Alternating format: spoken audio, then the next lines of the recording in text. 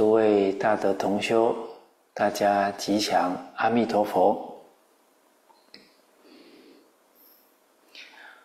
啊，我们今天啊，从师长祈福消灾之道啊，再续版啊，这是老人家啊为这本书啊写的序文啊来。学习啊，老人家对于因果教育的重视啊，因果教育的重要开示啊。那在我们现前呢，啊，因果教育是刻不容缓啊。老法师常说，伦理道德教育啊，让人耻于作恶。因果教育啊，让人不敢作恶啊，这个不敢作恶啊，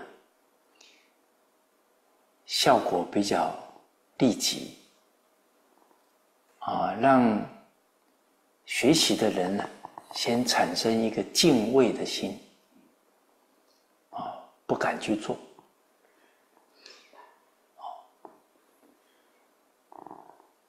啊，不能。他不懂因果啊，这肆无忌惮造恶啊，这个就会啊社会大乱了。哦，所以这个周安世先生啊，清朝周安世先生说啊，这个人人知因果啊，天下大治之道也啊，人人不知因果啊。天下大乱之道也。啊，当然我们在学校系统啊讲因果啊，啊，不要让啊这个家长啊感觉好像是很宗教性啊，因为可能现在现况啊，学校里面宗教不同。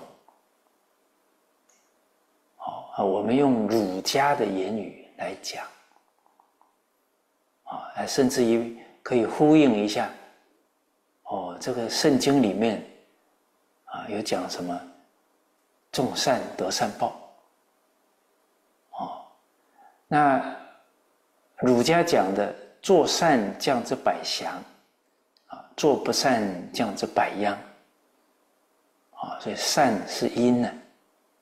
啊百祥是果，吉祥是果，恶是因呢。啊，百殃祸祸害是果。啊，这个儒家也讲了不少。啊啊，我们看这个《大学》里面讲了，啊，或备而入者，亦备而出。啊，你这个用不法的手段呢？得到的货物啊，那铁定你是守不住的啊！包含你言语言悖而出者，你这个言语不符合道德，伤到人啊！你造了这个恶啊，易备而入，还会回到自己的身上啊！这个小俄语说的，打人就是打自己。骂人就是骂自己啊，这个更通俗了。哎，包含我们这一段时间学习《弟子规》啊，那闻欲恐，闻过心是因；质量是见相亲是果。啊，闻过心是因嘛，是能感。哎，赶来良师益友来护念你，质量是见相亲，这个是应，这也是果，哦，哎，《弟子规》也不离因果，啊，你包含啊，我们跟同学们讲，哎，一个人对父母能够冬则温，夏则静啊，哎，对人的关心特别敏锐啊。他现在培养了这样的德行，哎，他以后到社会，你看这个是种因呢，得未来的果啊！你看他以后到社会上，各行各业都是服务他人的。哎，他这个非常敏锐，随时可以察觉人家一个眼神、一个动作，哎，可能他需要喝水了，啊，可能他太热了，哎，赶紧去调温度了，啊，都可以引导孩子看到未来的果相。好，啊，所以佛四十九年所说一切经呢，从世上没有离开因果两个字啊。而一个人对因果敏锐了，他会对自己负责任哦。哎，现在不负责任的人对因果没有概念的，甚至都把责任推给别人了。那我们看。啊，师长的教诲哈，佛言一切法从心想生，依随正转。啊，我们这段时间呢，常常跟大家提一句话啊，有佛法就有办法。啊，佛法管用啊？哪一句管用啊？啊，大家看一下，老和尚讲了两句哦，大家觉得这两句管不管用？一切法从心想生呢，依随正转。啊，请问我们现在遇到的哪一件事情离开了这个道理啊？问题是你要相信这个真相啊！你相信了，你就会用它去思维，去解决问题。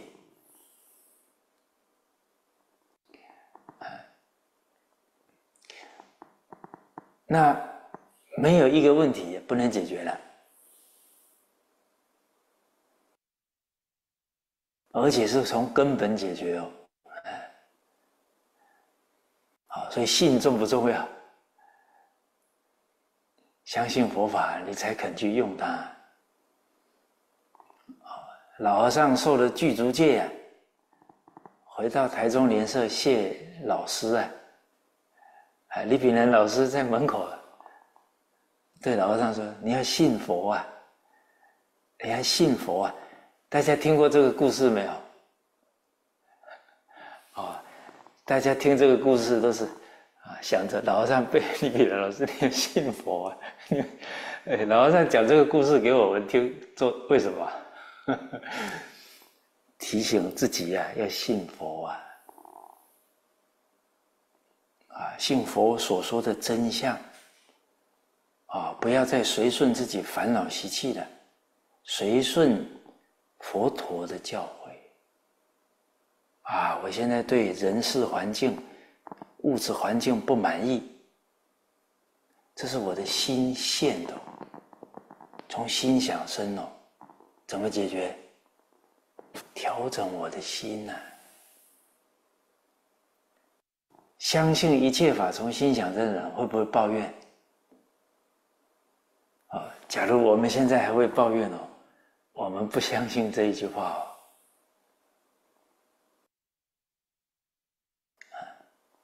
老和尚常常用做梦来比喻啊，梦境怎么来的？我们的心想出来的，啊，梦里面有人哦，山河大地哦，啊，那我们做的梦叫梦中梦啊，啊，我们现在还在梦做梦了，所以这整个境也是我们的心想生哦。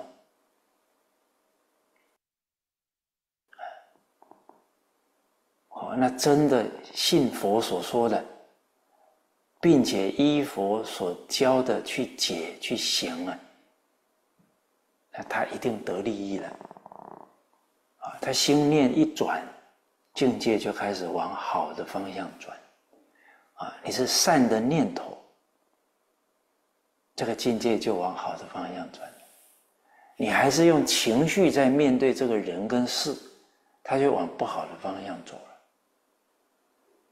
了。啊，有个孩子问我，啊，都差不多二十岁左右吧，啊，他说，呃，我知道我母亲为我好啊，可是她每一次讲话呢，都太啰嗦了，我就忍不住啊。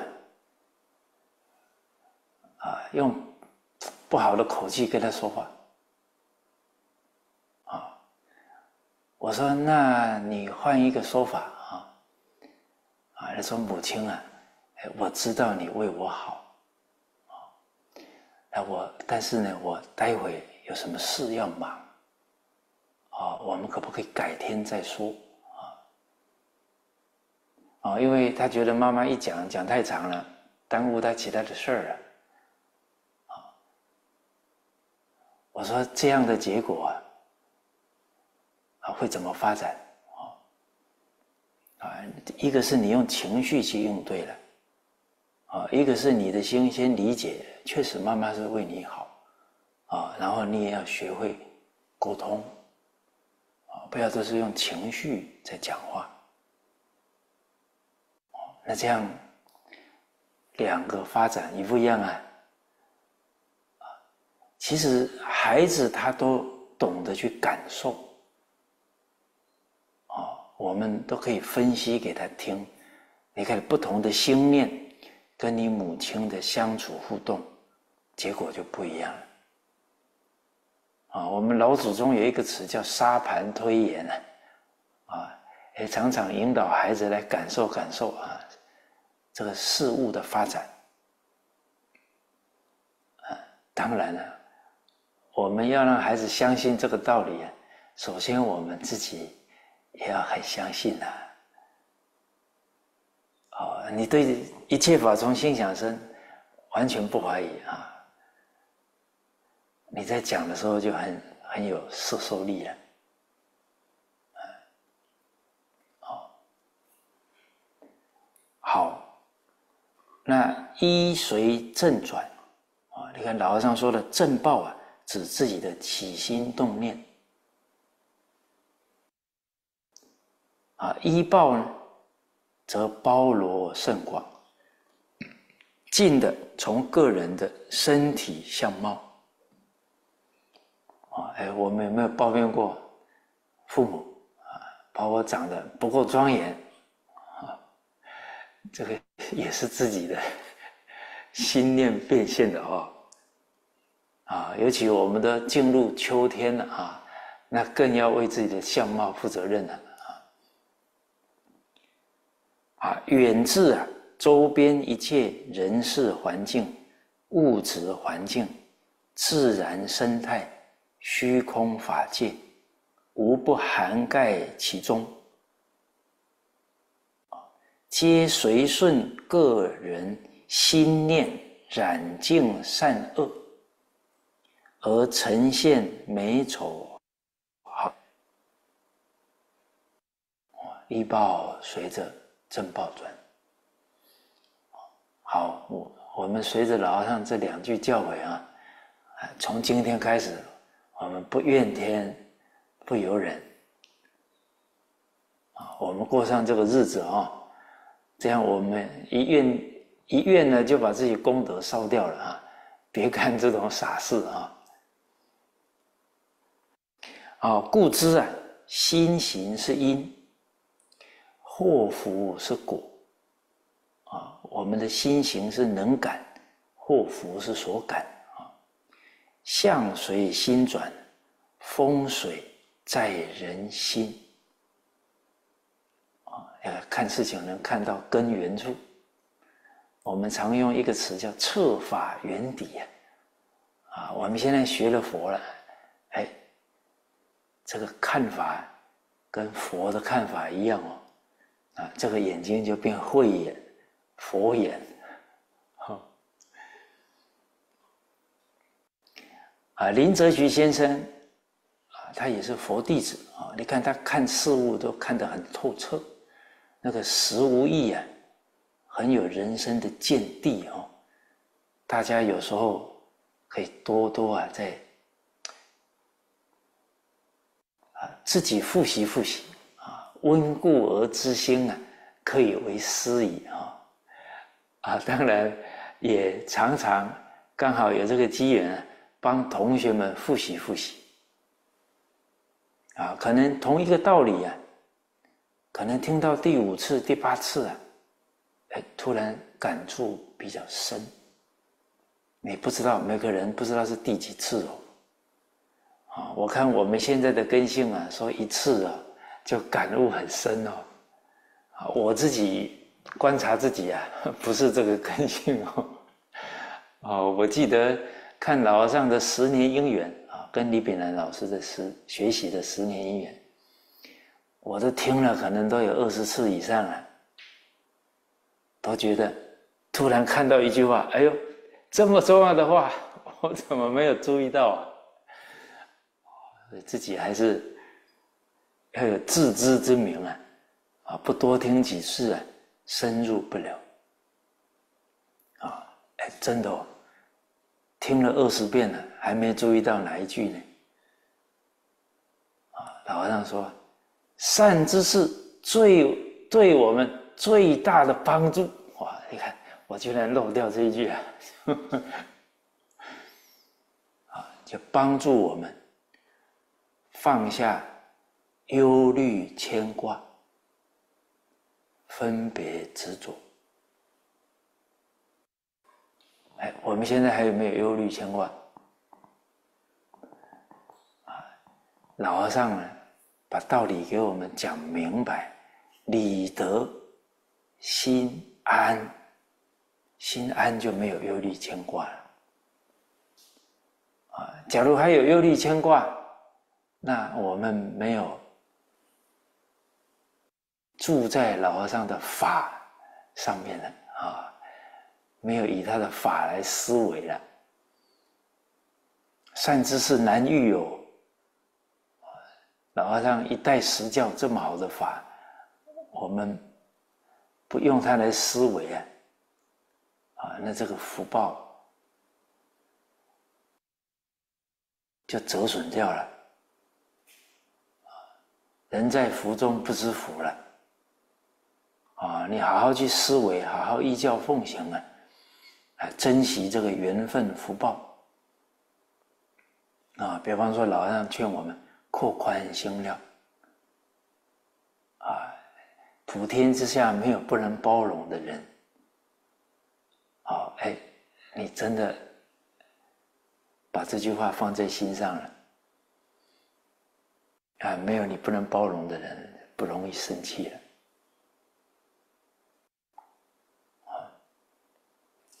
好，所以老和尚帮我们放下忧虑牵挂。理得心安啊，还有帮我们放下分别执着。哎，这分别心很容易起哦。啊，你看好丑就是分别心了。呃，你看我们现在台湾社会，你会见到很多不同肤色的人，不同族群的人。不同宗教都有，哎，不能去分别啊！一分别，可能就产生了优越感，产生傲慢心啊！老和尚指导我们要礼敬诸佛，不去分别啊！那你在处事当中就是修普贤行了。啊，来看我们教书，平等礼敬每个同学，不偏心，这就是普贤行的落实啊，广修供养，平等的供养啊，啊，哎，对哪个同学比较好，对哪个同学比较不关心，这个就不是普贤行了。啊，我们。净土为归哦，好不容易遇到无量劫来稀有难逢之一日啊，可以出轮回哦，这可是大事哦。啊，现在邻居老居士了解了念佛法门，高兴了三天，啊，把他的书房改做欢喜斋，啊，高兴三天，一直说了，我终于可以出去了啊，啊，终于可以出三界狱啊，啊，终于可以出轮回这个牢狱了。没有比这件事更大的了哦，其他的都是芝麻蒜皮，其他的都是什么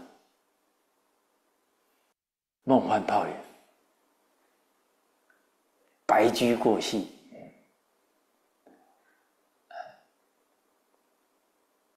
好，那要出轮回啊，要净土为归啊。那普贤行的功德啊，会带我们到极乐世界去哦。哦，所以我们现在起心动念、一言一行啊，哎，跟普贤行要相应。哎，所以不要分别啊，就能落实普贤行了。好，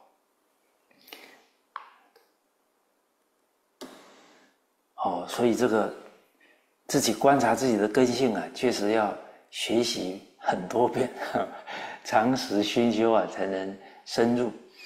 哦，那就像林则徐先生《十无益》啊，就提到了“存心不善，风水无益”，因为风水在人心呢。啊不孝父母，奉神无益，拜佛也无益啊！你没有叫佛的教诲去做了啊！敬业三福第一福，孝养父母啊！我观察现在的孩子心里都有事，现在很少。很少看到，啊，笑得非常灿烂啊，一点忧愁忧思都没有，啊，你看孩子有时候看什么时候呢？哎，不经意的，哎，他也没觉得谁在观察他，谁在看他，那时候看他的表情，啊，我们以前交朋友也看过啊。哇，笑声哈哈哈哈，很大声的哦，听起来挺开朗哦。哎，有时候不经意看到这个朋友，哎呦，怎么脸上是愁容？哎，哦，那就就昨天啊，有个男男同学，啊，他就说到啊。他跟他妈妈关系不好，啊因为啊，他妈妈在他小时候啊，对他陪伴太少，他怨他妈妈。哎，诸位老师啊，你有没有遇过这样的学生呢？哦，我感觉现在父子有情处的好的比例呀，不是太高。啊你说我们一回想说跟父母没有隔阂啊，啊，一想到父母啊，内心就觉得很温暖，啊，没有匮乏。大家去感觉一下，一个人跟父母的关系处不好，他一定会感觉他缺爱。哎，缺的人会怎么样？没安全感。他就要想去控制、拥有，他才有安全感。哦，所以大家看事情啊，看人，看深入，入木三分。啊，你不要看一个人这个占有欲很强啊。你你看深一点，他缺爱啊！你本来要要批评他呢，你一看到他缺爱，你比较体恤他了。啊，有一些事物啊，你看得更深了，你可能就不发脾气了。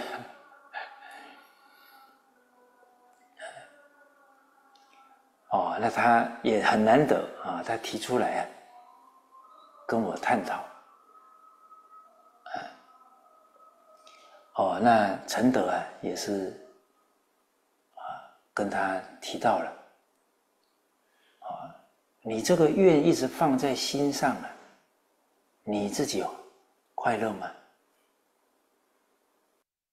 哦，再来，你母亲啊。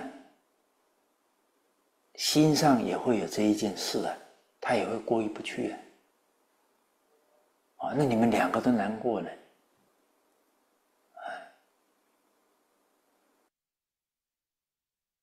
啊，他还提到了，他妈妈都给他道过歉了。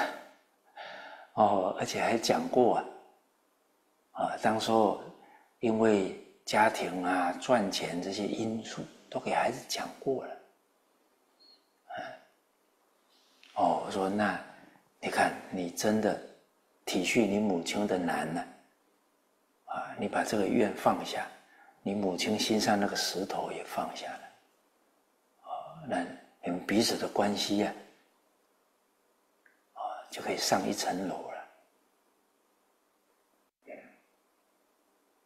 哦，而且这个母亲恩德那么多啊，你何必就一定要？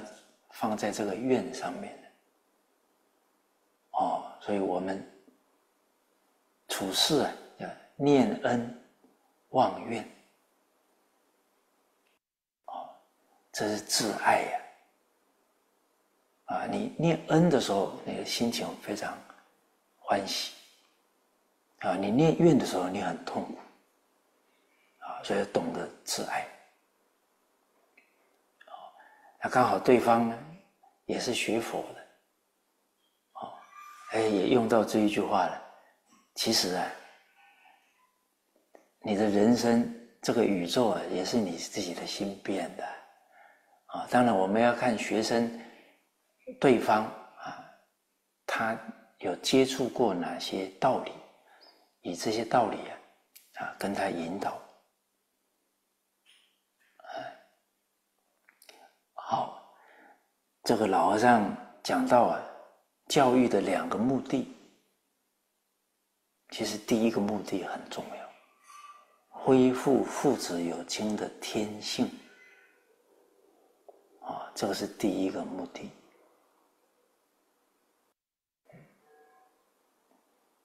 那他恢复了，他没有匮乏了，他不不缺爱的人。他很愿意去爱别人啊，而且他爱别人哦，他不会去索取别人要回报。哦，那再延伸开来，就是爱自己的兄弟姐妹啊，爱家族，爱邻里乡党，凡是人皆需爱，凡是物皆需爱。现在的小孩啊，太缺爱了。都会去伤害小动物啊！哦，我们听过一些例子哦，一些野猫啊，拿这些小动物出气了。有时候我们看了会觉得，啊，这孩子怎么这么残忍啊？你再看深一点呢，这些孩子一定都缺爱，所以他内心很苦闷的。你不缺爱的人，怎么会做这样的行为出来？啊，从从一个大的道理来看，行为不好的都是缺爱的人。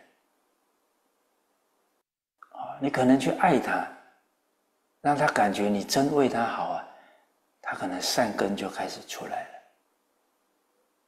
啊，好，好，所以这个。不孝父母啊，奉神无益兄弟不和，交友无益。这个孝悌为人之本与本于啊，啊，行止不端，读书无益，心高气傲，博学无益。你看这些句子对求学问呢，你没有注意到啊？你学了一辈子学问，跟人没法相处，因为傲慢，心高气傲啊。哦，那这些学问反而是误了自己了。嗯，哦，所以这个十无义啊，都都很精彩的道理。哦，哎，多跟同学们呢复习几遍呢。哎时运不通，妄求无益啊，要有耐心等待时节因缘的成熟啊。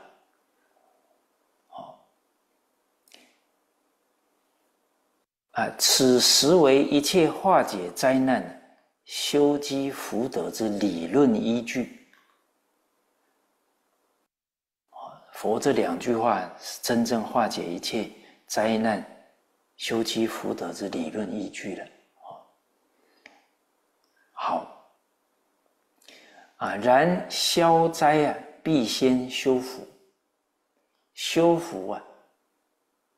必先铲除业障，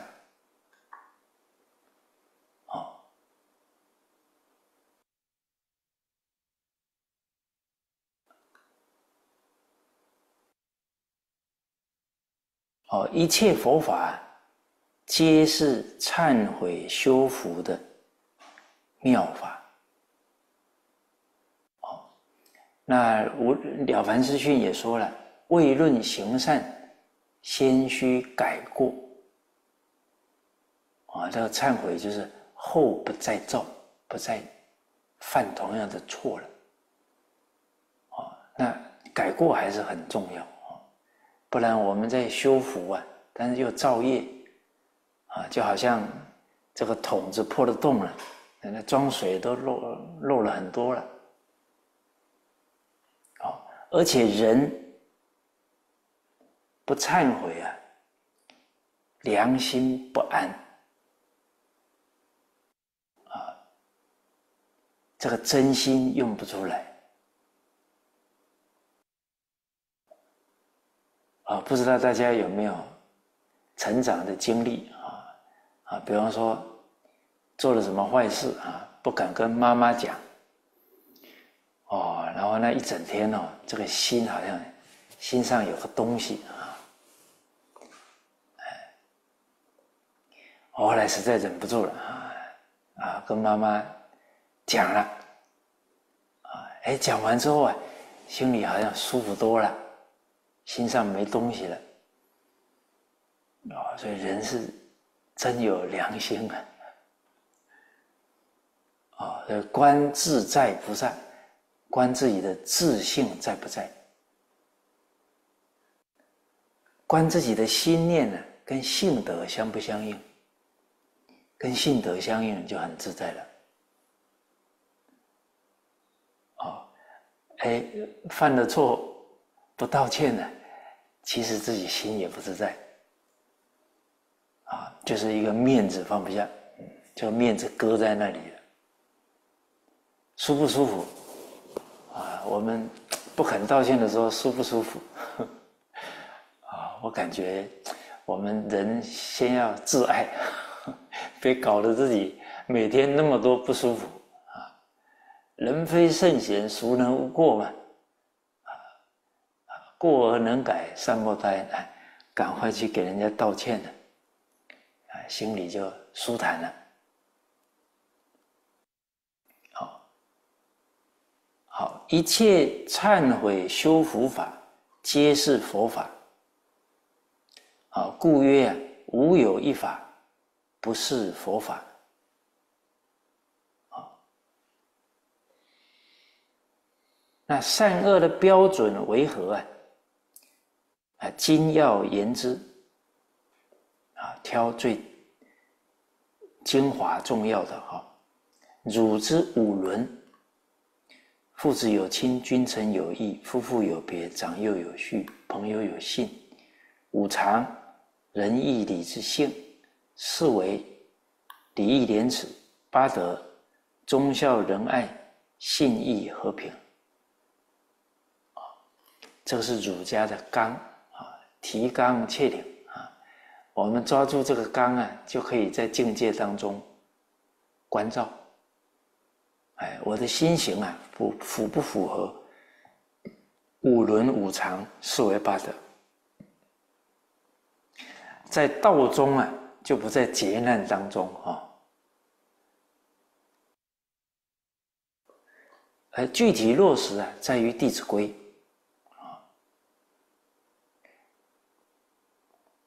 啊，因为我们懂了这些理了啊，总要落实在事上啊，理事。圆融啊，那《弟子规》都是生活当中伦常的落实，伦常的理啊。佛之三福六和、十善五戒、十愿十度，具体落实啊，在于十善业道啊，这是指啊。佛家的纲领所在，啊，这五个行门，啊，三福六和三学六度普贤十愿，啊，道之崇尚啊，自然法则，啊，来把儒释道啊纲领掌握住，啊，接下来这个是《道德经》说到了生而不有。啊，生养啊！你看天地生养万物，但不占为己有。啊，为而不恃。啊，为啊培养万物。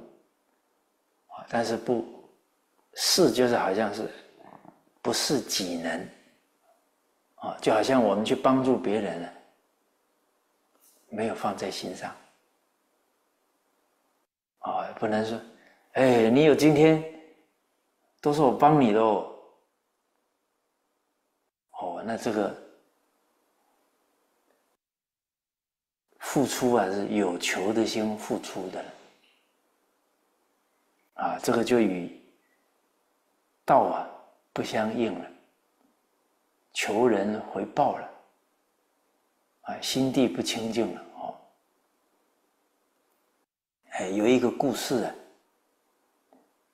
啊，就是有一个当官的人啊，曾经帮了一个百姓啊，哎，后来这个百姓啊，致富了，啊，致富了，哎，结果这个读书人呢，哎，这个当官的人反而啊。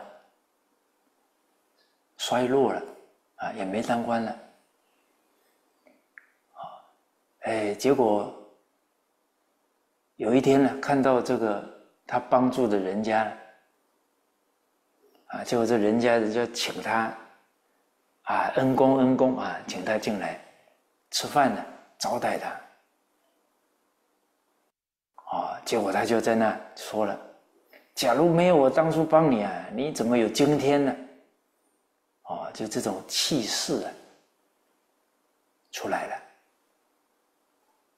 啊啊，结果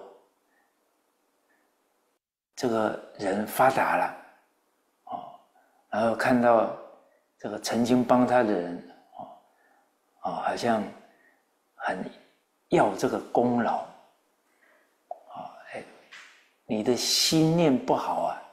有可能触动对方的不好的心念啊，他觉得你这种态度让他觉得很侮辱啊，啊，也不知道接下来还要对他提多少要求啊，你看他也往不好的方向想了。你假如说，哎呀呀，当初帮助你啊，也是啊顺手的事啊，你不要放心上了，可能人家会更感动。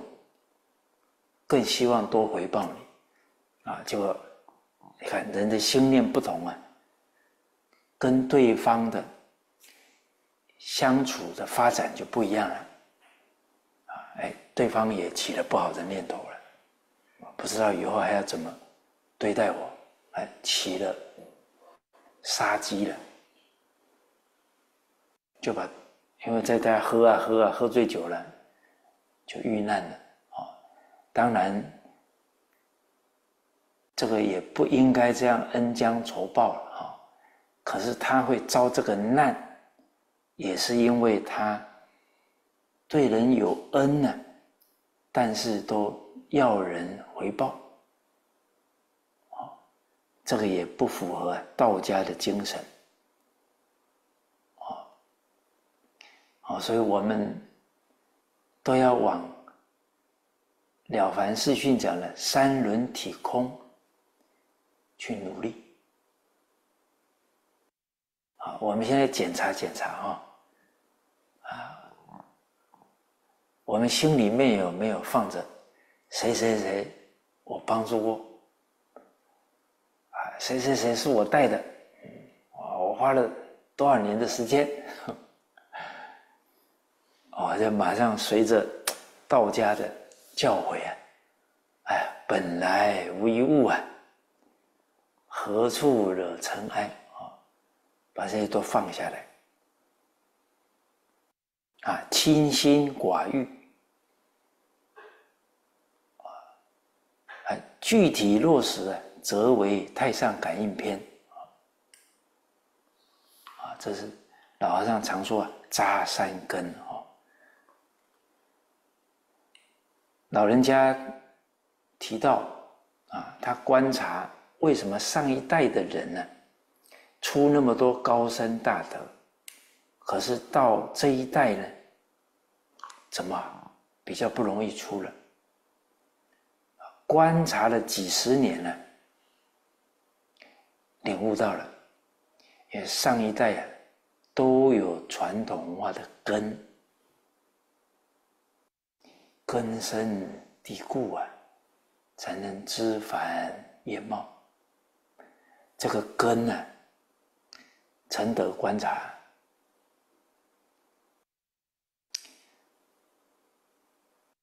胎教的根呢最老，所以老和尚说，重视胎教出圣人，重视三岁以前出贤人，三岁以后啊。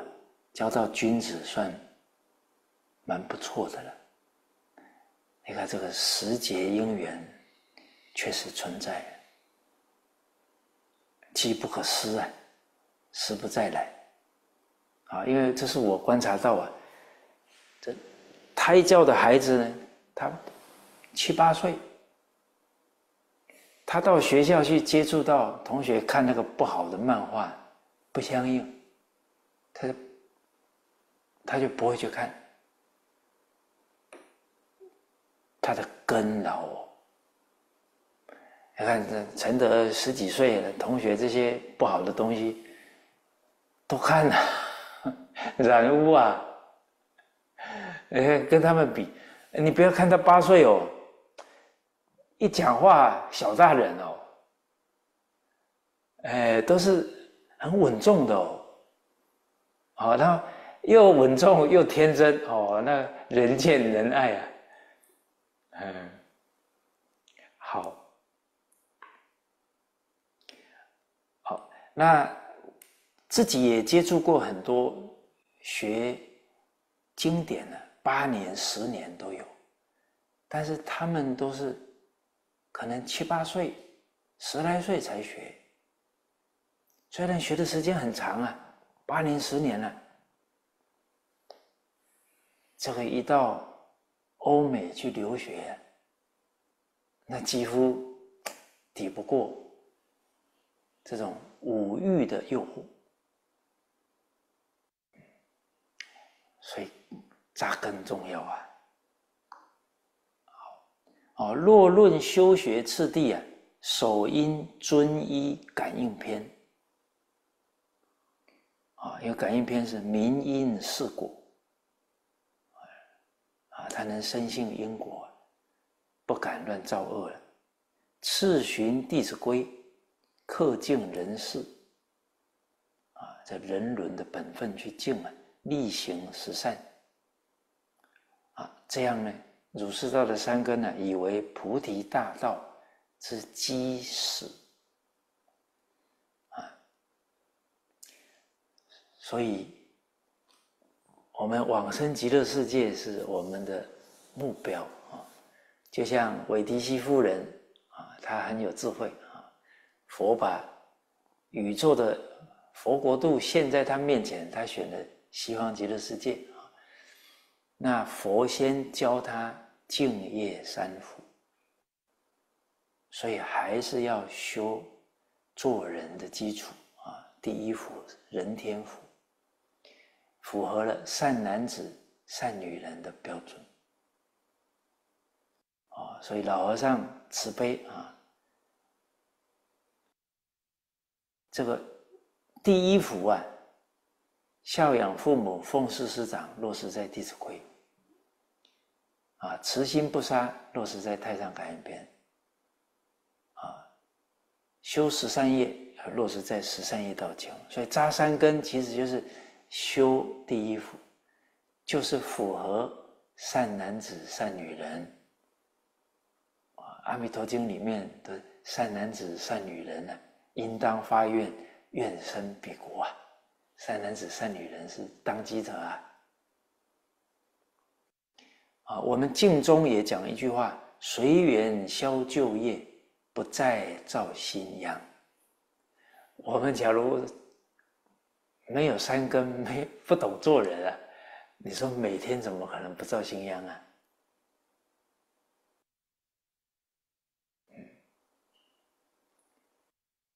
啊，每天贪嗔痴都会做主了，不可能不造新殃啊。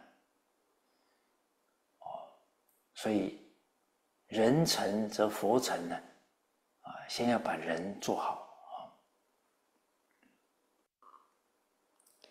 啊。所以以为菩提大道之基石。啊，静观中国历史五千年来，虽经朝代兴替。啊！但古圣先王对儒释道三家教学之普遍弘扬，无不重视。啊，所以故能成就国家社会的长治久安。因为人心得到教化了，人心善，当然家庭社会就安定了。但近至近百年。西风东进，啊，这个西风当中啊，功利享乐，哦，啊，包含工业革命之后啊，比较重，人人崇尚科技，功利为先，啊，漠视啊，就忽视了传统文化，忽略了因果伦理道德教育。啊，这是老和尚把问题的根源呢分析出来了。哎，我们人要很会分析事，才能解决事情。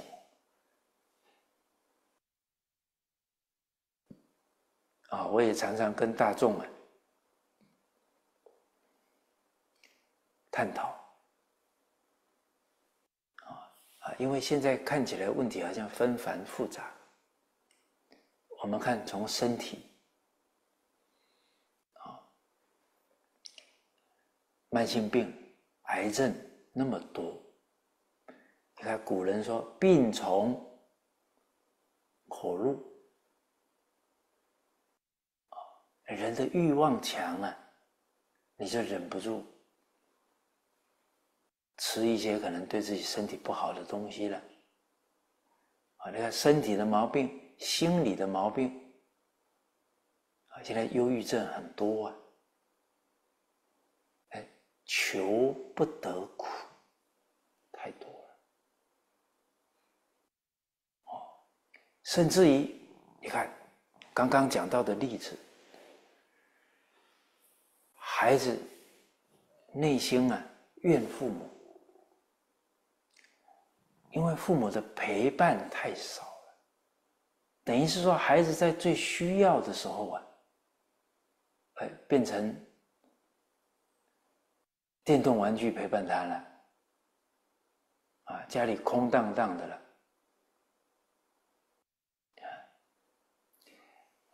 一个人忧郁症的情况啊，依据调查，都跟家庭有关，比例蛮高的。哦，所以大家想一想啊，我们是多赚点钱，还是多陪陪孩子，让他心理健康？哇，这个不好抉择啊。其实啊，那个赚多少钱呢？是修来的。哦，不是说你工作十二个小时、十四个小时，你就赚的比较多哦。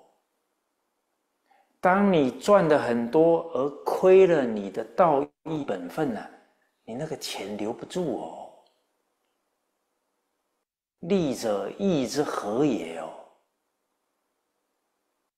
你看《易经》讲利跟义有关哦。你亏了义呀，要亏了福报了。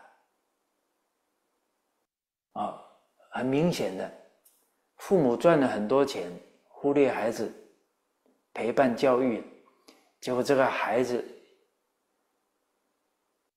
赌博了，孩子骄奢淫逸了，哇，那你父母赚的钱守不住了。所以人呢，还是需要安心呢。所以这个《了凡四训》哦，大家要多推广，理得心才能安呢。啊，命里有时终须有，不然那种氛围啊，大家都拼命赚钱了。除非明理的人，不然一定都会受风气的影响。你看多少人？本来教书啊，公务员呢，下海经商，哇，那一波一波，大家都在赚钱呢。啊，像承德苏家啊，父母啊是同学，师范学院的同学，啊，都是出来当老师的，哦，后来。这个父亲是当说老师的薪水啊不是太高，啊，又去搞高考啊，去当公务员啊，在银行里面服务啊，哎，看起来钱赚的啊啊比我母亲多了，哎，结果后来退休了，退休金只有我母亲的一半。哦，他也常常开玩笑说：“哎，现在都吃你母亲的啊！” 你看，命里有时终须有。哎，好，那好，我们在这种风气之下，要立得住，还是要明理啊？好，那刚刚陈德分析的，好，身体有问题跟欲有关，心理有问题，你看孩子缺乏陪伴，也是父母太重利了，哦，或者人太太重欲，他就有求不得的苦，诸苦皆从。贪欲起，你看每一个原因，你分析到人心，离不开利欲。你看家庭的纷争，夫妻为什么闹离婚？你你重欲了，第三者出现了，哦，或者太重利了，夫妻重利就轻义了。啊，你看父子兄弟为什么上法院呢？为了利呀，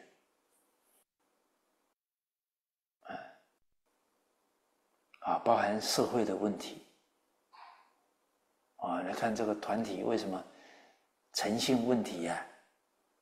啊，为什么跳槽啊？啊，君臣没有没有义了，还是利欲熏心啊？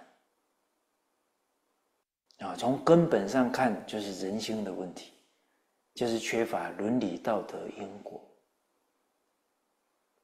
哎，我们看自己，看学生，看亲戚朋友，都能看得很深，看到问题的根源所在。我们才能对症下药啊！好，演变至今啊，因为忽略了伦理道德教育啊，都是功利了。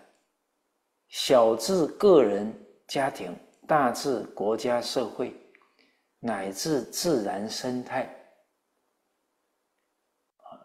人呢放纵自己的利欲了。为了要赚多一点钱，破坏大自然了啊！所以老和尚看事情啊，你看这个都强调环保啊，有改善吗？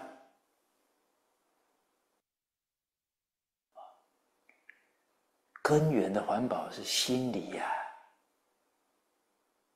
啊，你人都自私自利了，你你这个环保要做好很难的啊！看到根源了，哦，所以生态啊，自然生态还有宇宙平衡，一一遭受严重的破坏，地球人类的继绝存亡啊，实为今日世界共同面临的最大课题。天下兴亡啊，匹夫有责哦。啊，我们要尽家庭、社会、团体，包含这个世界的道义哦。我们是地球公民哦。现在气温上升了，啊，好像啊。有一个骗子叫是不是？什么正负什么零点二度还是那个骗子啊？就是你超过了之后啊，可能这个生态就没有办法逆反、逆转了。可能一些永冻土啊，一解冻啊，一些不好的气体出来啊，这个地球就。没有办法再恢复健这个健康的自然生态，真的是拒绝存亡哦。而改善大自然最好的方法就是吃素了啊，叫正负二度息啊。我记得我当时看过这个片子啊。你说这个需不需要教育我们每一个同学、小朋友啊？珍惜地球资源呢？啊，来吃素啊，让这些植物不要被砍伐了啊！所以西方现在很重视这个素食，都是用环保的一种角度啊，在提倡。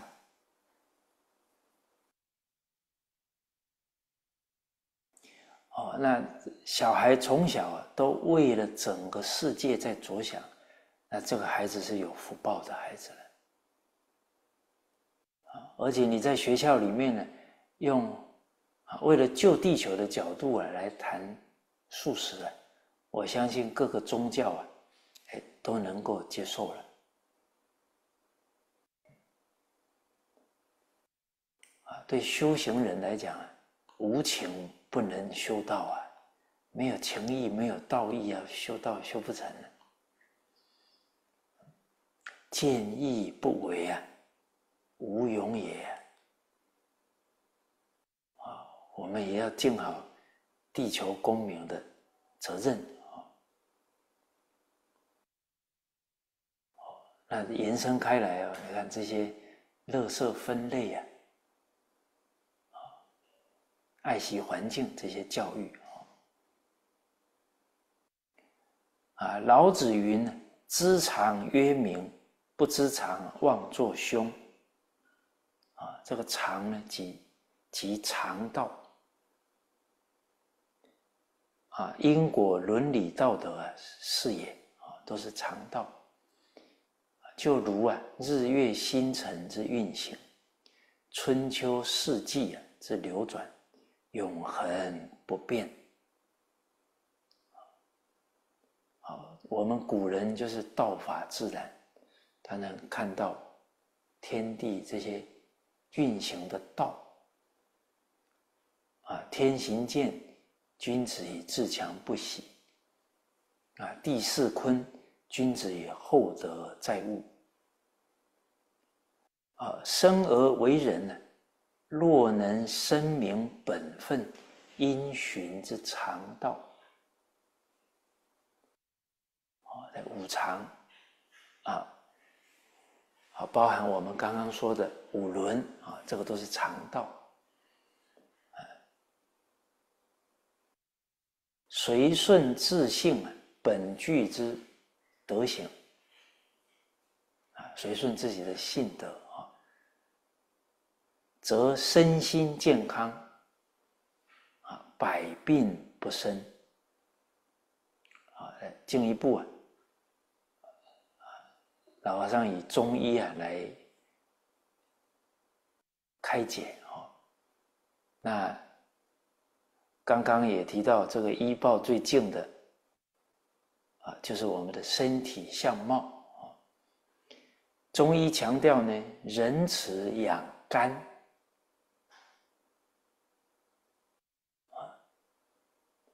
我也遇过一个朋友，说我爷爷很喜欢帮人呢。可是他怎么短命呢？我说你你爷爷是死于什么原因啊？他说肝癌呀。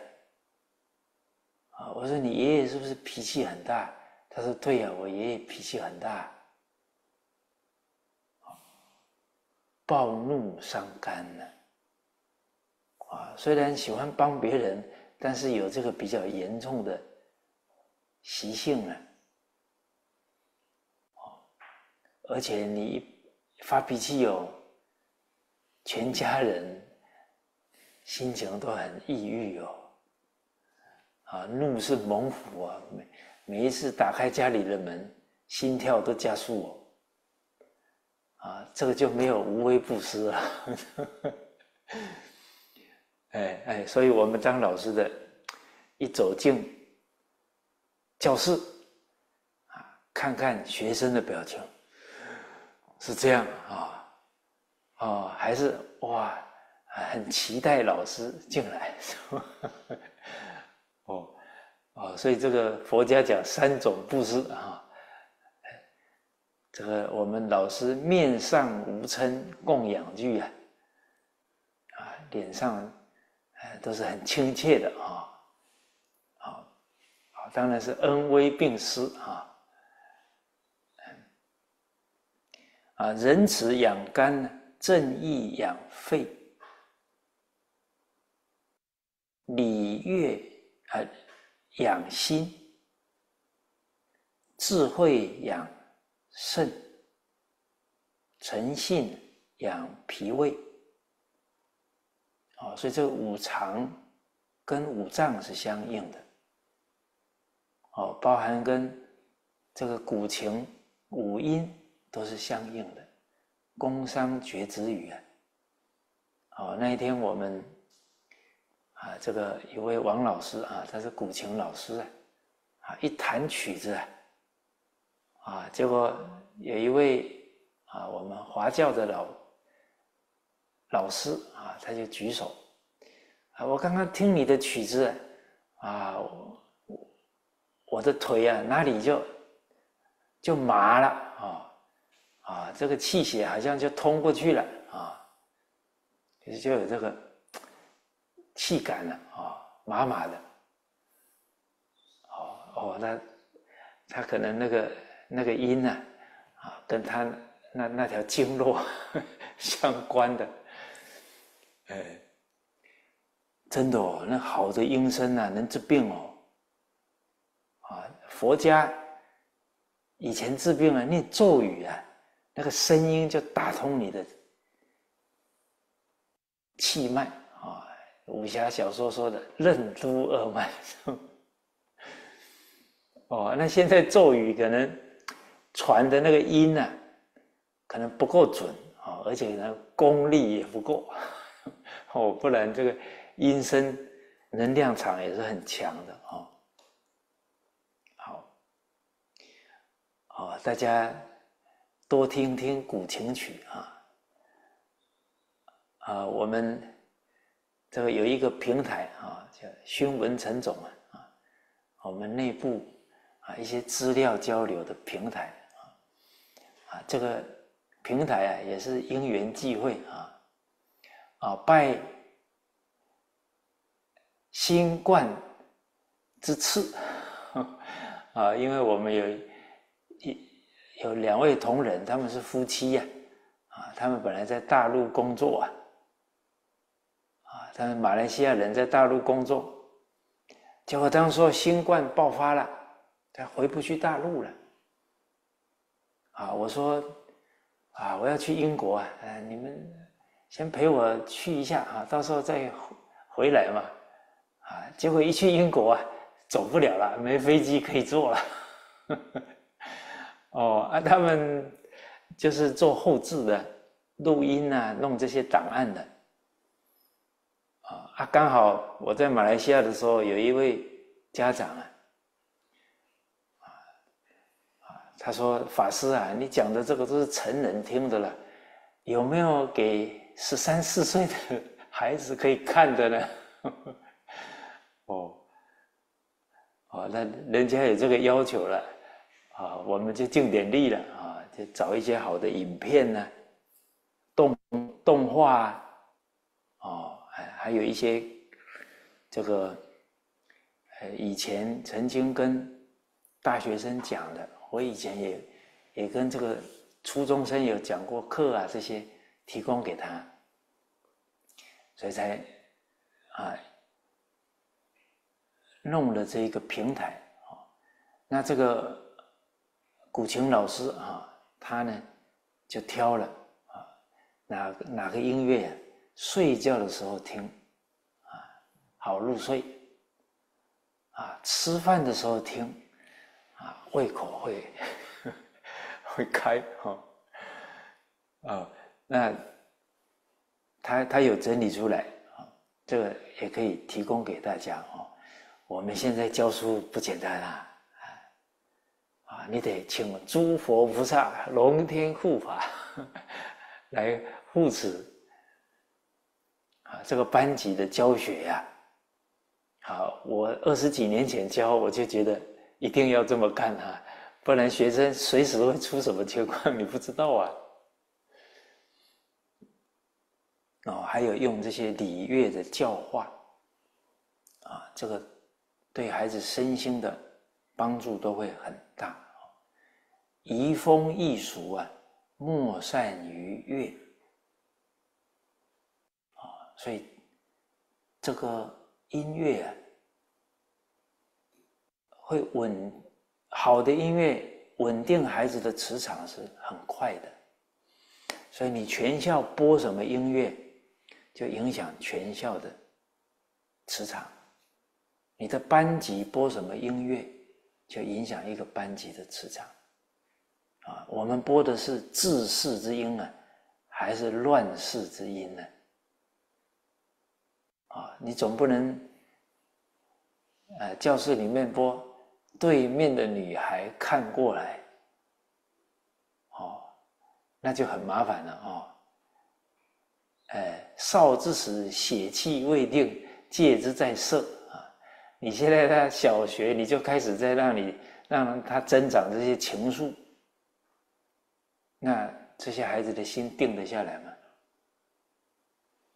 哦，所以老师要会判断哦，有责任哦，哦，你不能不会判断都赶流行，那现在很多音乐是不妥当的。哦。哎好，你看还有一首歌叫《我爱你就像老鼠爱大米》，那个是玉呀。哎，大家不要说啊，都流行了，好玩了，好玩，我们下一代就被我们玩掉了，是非善恶都不懂了。好，啊，若违逆性德啊，则怒气伤肝。悲恼伤肺，愤恨伤心，烦恐伤肾。呃，你越伤肾哦，你思虑就越不清楚，所以不能烦哦。要念阿弥陀佛，不要烦，越烦越处理不好。做大事者不可烦。啊我们是做大事哦啊，没有什么事啊比教育下一代重要了啊！做大事者不可烦，烦必乱。好，那痴疑怨天尤人呢，伤脾胃啊！这一段呢，提醒我们。啊，情绪都会影响五脏，我们把这个身体照顾好啊，还是很重要哦。啊借假修真呢，啊，我们身体好了，对修行啊，对我们把工作做好，都有直接的帮助啊。佛法说明啊。随顺戒定慧的伦理道德，则天清啊，日月清明，风雨已时，灾力不起；地宁啊，不寒啊，不贪无水患，不嗔无火灾，不吃无风灾。不慢，无地震啊，所以整个环境啊，跟人心是一，不是二哦，这个是分不开的啊。一报随着正报转，啊，所以由是而知啊，七零年代英国历史哲学家汤恩比博士之语啊，欲解决二十一。世纪的社会问题，唯有孔孟学说与大乘佛法啊，所以极具真实智慧。这个汤恩比教授啊，他在强调中华文明的时候啊，当时候是大陆在文革哦，在那样的时节因缘。他还是相信中华文化的力量，哦，而且他已经看到诸多问题，比方说都市化的问题。大家冷静感受一下，哎，人口过度集中，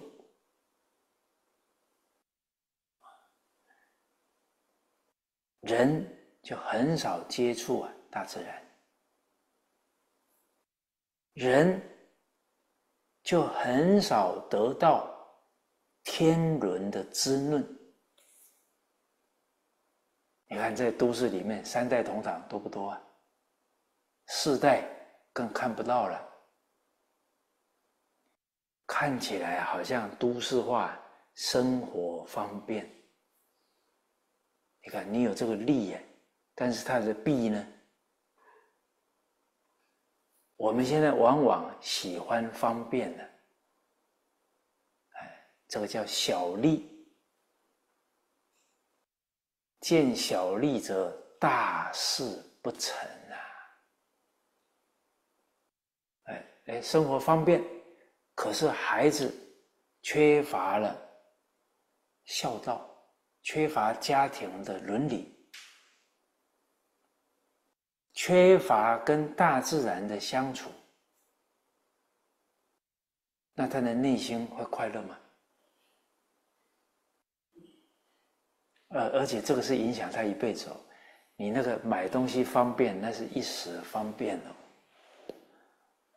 啊，而且说实在的，在都市里买的东西也不见得健康哦。你看那都市人口那么密集呀，他要生产那么多的东西呀，整个生产线都是急功近利的操作哦。所以，这种都市化会延伸出好多问题呀。汤比教授在七零年代就看到了，这个都属于先知先觉者啊。我们喝一个牛奶，太多人要喝了，啊，然后就要打激素，母牛的体内，让它要一直有奶，一直呃要生。哦然后他们的天伦也没有了，啊，那个牛一生下来就跟母亲就扯开了，哇！你看这一些方式，哎，里面都有因果呢。啊，你看现在为什么蔬菜那么多农药、化肥，吃的包含肉类都有荷尔蒙、抗生素这些东西。这个跟都市化有没有关系？可是你吃的这些东西全部回到人的身上来了，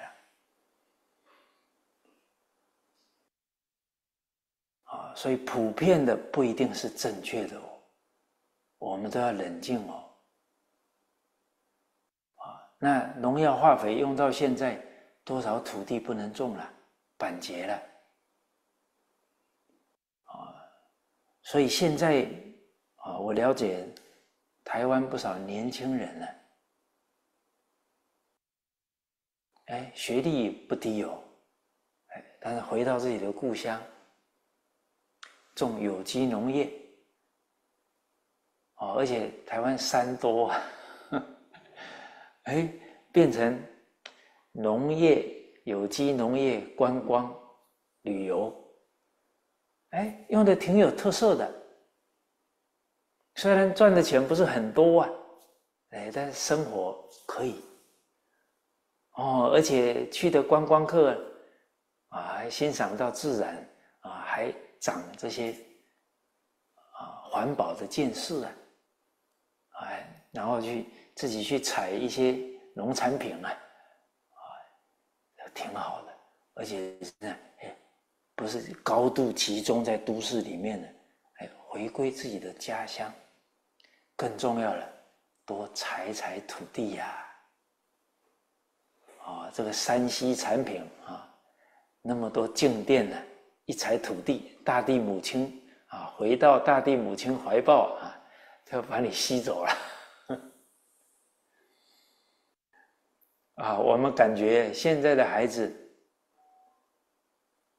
悟性不足，好像都说一才做一，说二做二，反应都比较不敏锐，太少接触大自然，然后太少服务老人、服务长辈，不然以前大家族啊，这每天都要锻炼这一些。他不会迟钝的，哦，所以我们这个几千年的社会啊，都是大家庭啊，现在短短这几十年，快速都市化，你看我们这个整个身心、家庭、社会的状况，你看犯罪率，哎呀，这是人心的问题延伸开来太多了。你说现在吸毒的人为什么那么多？谁不知道吸毒不好？他就缺爱、空虚，到严重的程度啊，他就可能会寻求这种很强烈的刺激了，才能忘掉他内心的苦闷。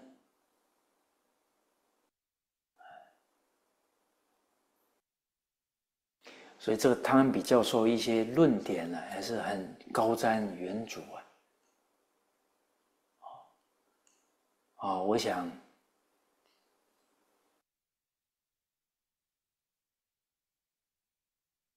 好，好，我们有了这些认正确的认知啊，啊，我们要带动啊，啊，整个社会啊，啊，往正确的方向去走，啊，比方说饮食。啊，然后去带动啊，回归正确的有机农业，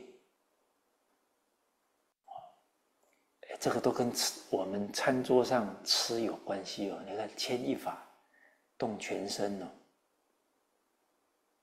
哦，包含我们去带动三代同堂，而且你这一份心呢。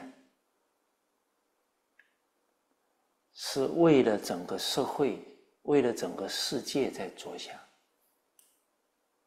哎，你吃素为了环保，为了世界。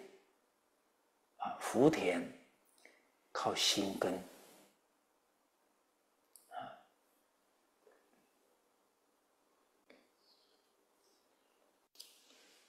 这个最近呢，啊，因为听到一些大众啊讲了一些。势力啊，啊，就现在可能治安呢，有些地区也不稳定，好，那我们的学生呢，也有可能在未来遇到一些危难呢，啊，那有一尊菩萨叫观世音菩萨。释迦牟尼佛啊，在《无量寿经》都特别提到啊，众生若有急难恐怖，但自归命观世音菩萨，无不得解脱。啊，这个学生能接受啊，啊，我们都一定要告诉他们啊，在危机的时候要念观音菩萨，千处祈求。千处应啊！当然，假如其他宗教也有强调这个，这个大家也可以提供出来啊。我们现在也也是以师智为己智啊，宗教团结啊，宗教回归教育，宗教互相学习。那孔孟学说以大乘佛法圆满，含摄伦理道德因果。哲学、科学教育，啊，学习伦理道德教育，则耻于作恶。啊，我们这几天跟大学生上汉学，啊，哎，他们学的孝道，啊，哎上台分享都，啊，有发惭愧心。然后要改正自己的坏习惯啊！哎，这个是啊，学了伦理道德，耻于作恶啊；学习因果教育啊，则不敢作恶。好，所以故于五者之中，又需特重因果教育。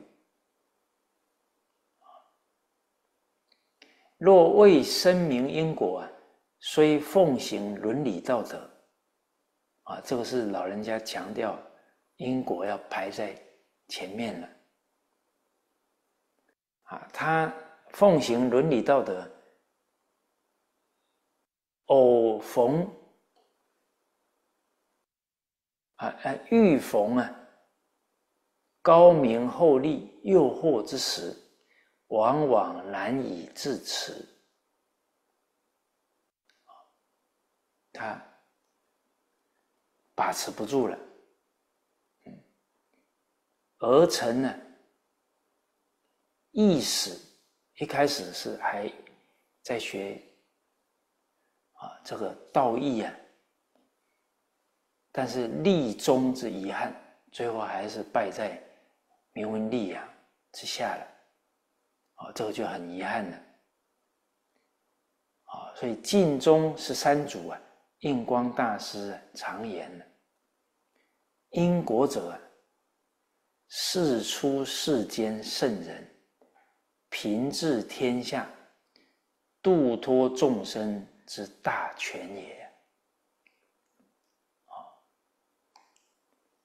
啊，所以若欲挽回世道人心，舍提倡因果报应了，重令其学士道德。神通智慧与圣贤佛菩萨相齐，亦无如之何矣啊！啊，况其下焉者乎啊！啊，哦，所以这个印主高度强调啊，啊，要提倡因果教育。这个人才有根基了，才不会被名闻利养所转。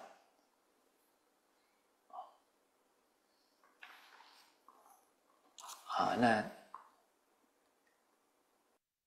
师长提到了啊，经有啊，王立明警官诸君子啊，发大慈悲心啊，从编疾夫消灾之道。好，那这个是。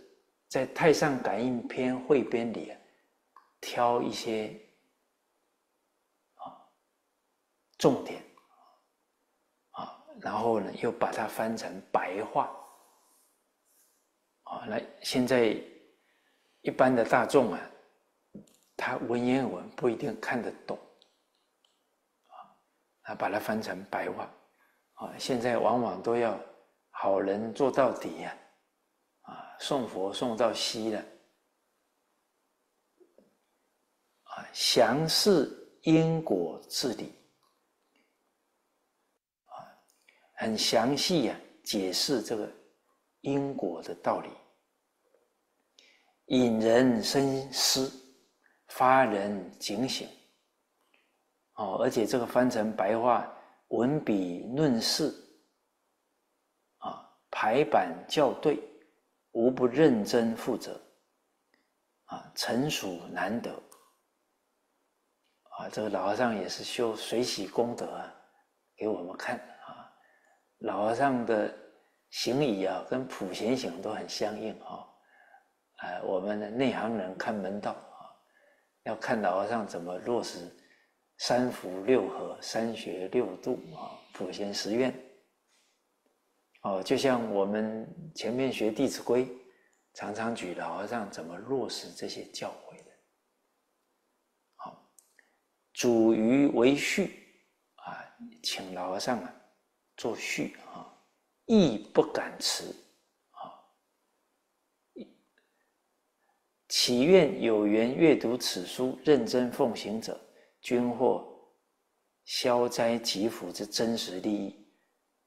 人为福人，居为福地，百福千祥，灾消福来，即在当下。啊，仅此数语，略表随喜赞叹之意。哦，哦，那诸位老师啊，我们共同发心啊，好好。深入《太上感应篇》汇编啊，那我们所在的地方啊，福地福人居，变成福地了。啊，老和尚说的啊，一个人真念佛啊，这个地方不遭难哦。好，不知道大家听到这句话，下一个念头是什么？哎呦，赶快去找谁，跟谁做邻居啊？什么？这个有点向外求，佛法是内学啊，要请佛注释啊，要请自己。哦，而古人留了一句话：“人为善，福虽未至，祸已离去。”啊，人为善呢，就跟祸不会感应了，啊，这个祸就会离开了。哦，那我们就摘消啊，福来了。啊，那我们赶快教给学生啊，那学生的人生也是摘消福来啊。所以师哉师哉啊，童子之命也哦。啊啊，老师影响孩子的人生命运啊，不说别的，讲几个。爱护动物啊，得好的果报；哈，伤害动物啊，啊，得短命报。这个故事啊，你看小孩单纯呢，一听，他的这种本性，这善根一出来，他就不造这个伤害昆虫，昆虫草木犹不可伤。啊，他少造很多业哦，多造很多福啊。这个老师功德无量，